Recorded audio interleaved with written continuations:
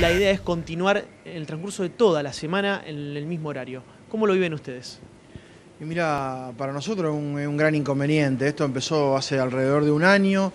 Nosotros ya hemos elevado nota a la municipalidad, a la provincia y a área de nación no encontramos al cual elevarla. Nos ayudó en la gestión la Cámara de Industriales Panadero, pero de ninguno obtenemos respuesta favorable para ver de que si existe la posibilidad de que lleven esta oficina a algún lugar en el que no genere tanto conflicto. Más que nada por la situación general en la que estamos pasando.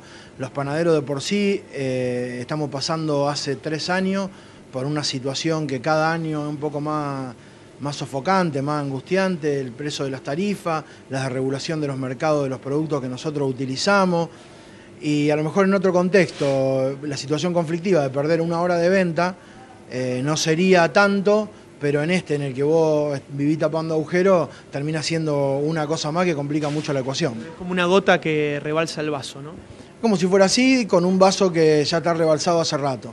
Eh, nosotros anunciamos al gobierno hace dos años que estábamos en pérdida de la rentabilidad eh, y ya este último año ni siquiera obtenemos respuesta las veces que como Cámara hemos presentado notificación a nivel nacional. Eh, en un momento éramos escuchados, no nos daban respuesta, pero al menos éramos escuchados. Últimamente ni siquiera nos reciben. Em, nos comentaba, porque también hay una situación de que los comerciantes que se quejan y sienten malestar por la protesta eh, no quieren hablar, por distintas razones. Una de ellas es el temor. Eh, que no dejan pasar los manifestantes a los clientes, que se ponen en la puerta, que se sientan allí y cuando les piden que se corran, no se corren y demás. ¿Has tenido algún inconveniente similar?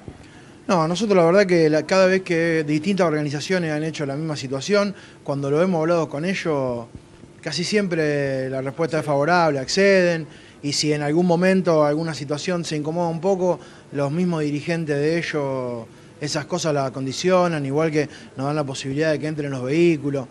Eh, puntualmente para cargar y descargar, pero bueno, no es una forma loable de laburar.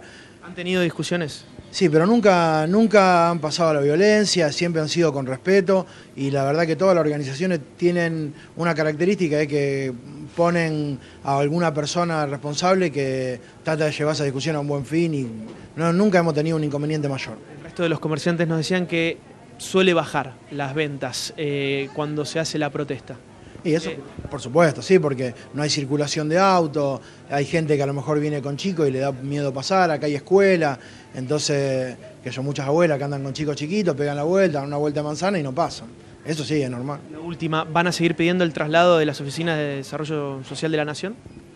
Y nosotros todos los trámites que teníamos que hacer lo hicimos y pedimos la explicación. En un momento nos decían que no tenían las habilitaciones para funcionar en este lugar, pero nunca obtuvimos respuesta alguna. Entonces, como dentro de todas las cosas que tenemos que reclamar en este contexto, como alguna más, la que no encontramos respuesta y la verdad que preferimos enfocarnos en las que nos da una mano la Cámara y las atraviesas que tienen que ver con la factura, con, con el gas, con los servicios, con el problema que estamos teniendo ahora con la harina, eh, bueno, ni hablar la situación de la leche y todo su derivado, que los que producimos panificado con algún grado más de elaboración que el pan, utilizamos manteca, manteca, leche, dulce de leche en cantidad y el desfasaje que hemos tenido por la política esta de permitir la exportación de leche en polvo sin restricción alguna y sin dejar nada para el mercado interno, que sean algunas condiciones de precio razonable, a nosotros nos está llevando aumento en ese área puntual que van de fin de año a hoy de más de un 150%. Eh, la harina ya supera el 250. O sea, en el contexto que tenemos, esto que pasa acá en la puerta es un problema, pero no es el problema. Gracias. Muchas gracias a usted.